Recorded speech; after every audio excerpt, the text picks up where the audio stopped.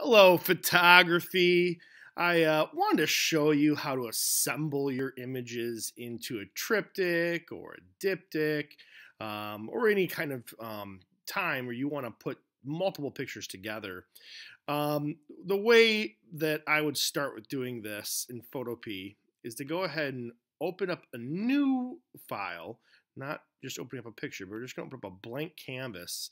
And I had already kind of preset this a little bit, but when you first see it, you're going to see this as pixels. I like to change it to inches just so it's easier for me to visualize. And then I set my dimension to 20, my width, and my height to 8 because I'm looking to make a horizontal um, arrangement. And then you want to set your DPI higher. I'd go 300 just to more easily match the photographs that you're going to be uploading. You might have to resize things a little bit. And then for the background, I'm going to set it to transparent right now. Um, I think it might make sense to go ahead and add a new layer. And I'm going to decide what color I want the background to be. So I'm going to make it black. And then I'm going to paint it. So now I have a black background to work with. Then I need to open up a picture. And I had kind of preset some of these already. Um, a while back, I did some compositions of bolts I actually have a lot more that I picked through, but I thought these three would make for a nice composition horizontally. And then I also have some photographs I did of hot sauce, which happens to be one of my passions. Uh, so I was going to show you a different or possible arrangement with these. So let's open up the bolts first. Let's open up this picture, and it's going to open up in a separate window. And probably the easiest way that I found to do this in Photopea versus Photoshop is to select the image, and I use the um, box selector here. And if I hold the button, there's other shapes you can use too, but rectangle works well for what we're doing. And then I'm going to go ahead and copy it. And then I'm going to paste it.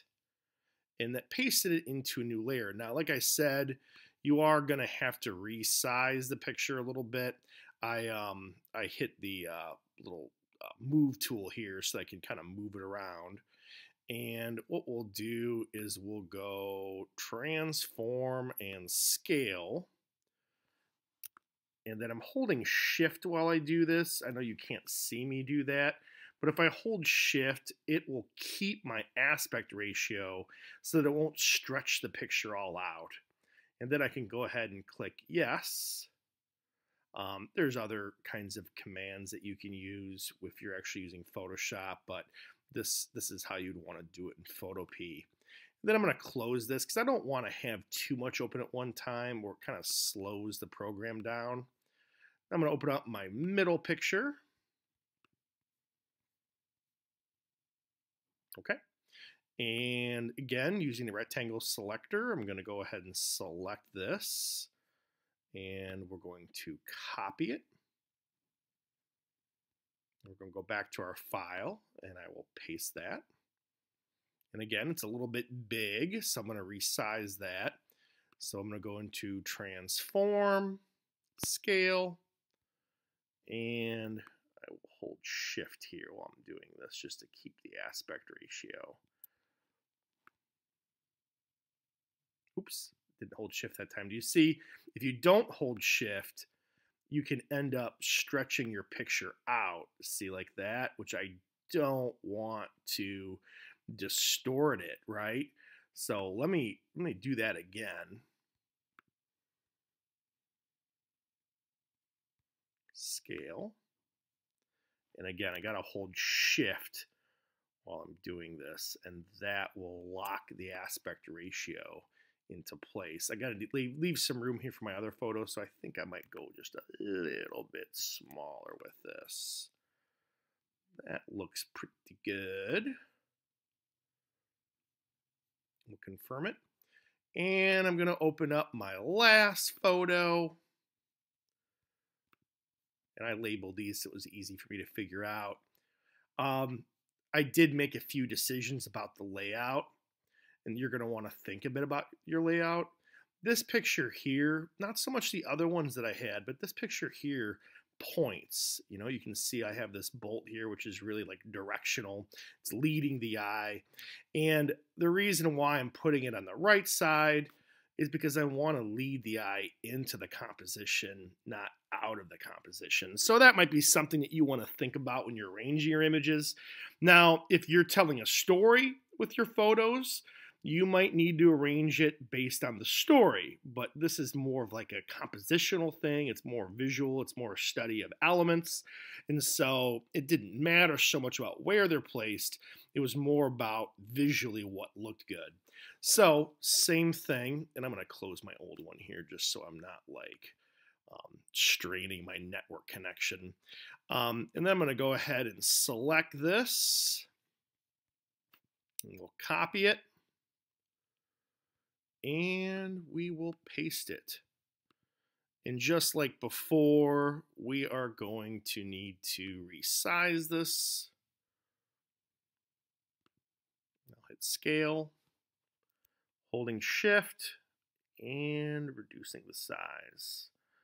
Now I will say, if you're using Photoshop, a lot of this is a bit easier to do and it'll actually give you guidelines which will help you see where these things connect but photopea is a fine alternative and um, it works just great. You might have to do a few more clicks to make things happen but i like it. And we're good. I think that looks pretty good. Let me just pivot the middle one a little bit just to make sure that it's arranged the way I want it. Just going to move that just a tad. And then I'm going to go back and notice I'm going between my different layers. This layer here has the one on the right side. This layer, you can kind of see um, on the background there where it's at. This is the middle picture. And then the layer I'm on right now, layer two, is this one um, over here on the left, which I think I need to reposition a little. Um, let me go back actually. I want to reposition. Yeah, I think that's uh, I think that's it. So this looks pretty good to me. Um, I will tell you that if you get into a situation where you need more space to work with or you need to change the shape of this canvas that you have, you can go into canvas size. Not image size. Image size changes everything, but canvas size will change the size of the background or the canvas. So that way I can give myself a little more space. So let's do that. Um, right now, like we had before, see it, it gave me the pixels. I don't like pixels. I want to look at it as inches. Let's say I want to give it a little bit more space on the uh, top and bottom. Maybe we'll make it nine instead of eight. And so that's going to add some space, but do realize that now it's revealed some of that transparent portion of the canvas. So I'm going to go back to my um, black layer and I'm going to go ahead and select the paint bucket and we're just going to paint it again so that way it's all filled in. Oh, we will look at that. That looks nice. Okay, we need to save it. Let me just click or get rid of that one picture I still had open. Um, I can save a PSD. Um, that will save the workable file. Um, or I can export it as a JPEG. So let me save it as a PSD.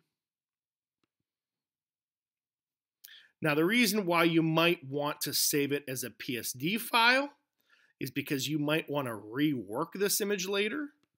So I'm going to go ahead and download that so I have it. And then I'm going to export it as a JPEG because I actually like the way this one looks. And so now I will have a JPEG version of this as well. Um, this all looks good to me. Um, if you want, you can turn your quality up higher. 70% is probably fine